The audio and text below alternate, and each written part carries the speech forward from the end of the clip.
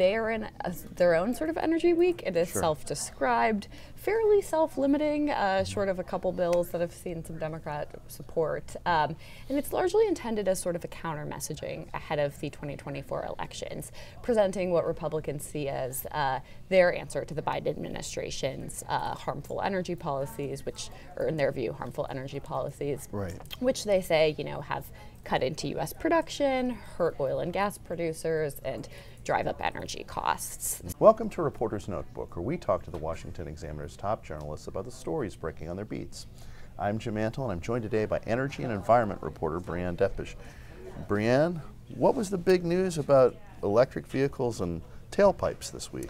Yes, so the Biden administration released its long awaited final uh, tailpipe reduction sort of uh, guidance for, uh, for EVs, for, um, for hybrid vehicles, and everything else uh, for model years 2027 through the end of the decade.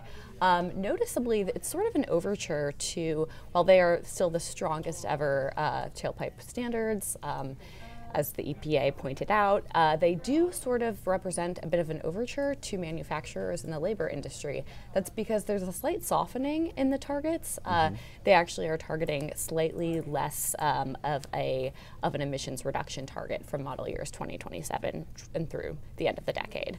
Um, still, they've been heavily, heavily uh, criticized by manufacturing groups. Tailpipes wasn't a muffled response. Yes, exactly. And they resolutely, uh, you know, sort of roundly criticized the administration uh, for this action, regardless of, of the overture, saying that they will still drive up consumer costs, um, you know, and force Americans to electrify the fleet, uh, you know, put sort of strain on grids faster than we are ready for. Mm-hmm. So, House Republicans are going to have Energy Week.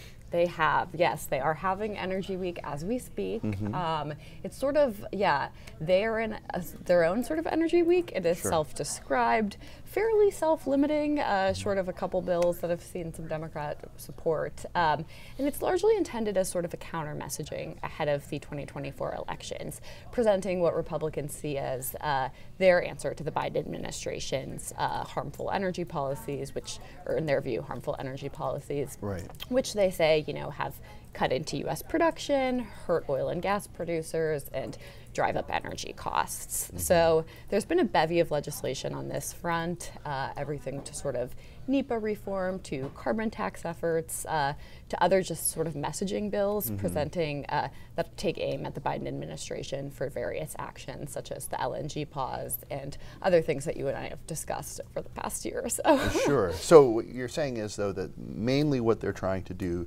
is show what they would do if they had the power, rather than these are bills that are likely to be advanced, you know, before the election or at some point this year. Exactly. Realistically, none of these bills will be brought to the Senate floor uh, ever. But yes, they are they are likely designed to sort of uh, give Republicans uh, stuff to campaign on in the in the months and the year ahead, um, and to sort of yeah present American voters with uh, what you know a Republican-controlled Congress, what a Republican-controlled White House might look like in the next administration.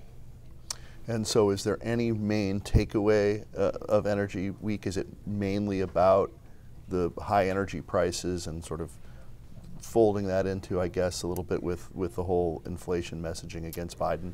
It's that, it's sort of uh, different overtures. They say we've sacrificed a lot of U.S. energy security uh, at the hands of China and Russia. You know, uh, a lot of stuff about drilling and uh, sort of hammering Biden, especially hard on the LNG pause, among other things. So we're going to see a lot of fossil fuel messaging, um, a lot of projects that they say have been stalled as a result of various BLM, uh, land protections, and, and things like that.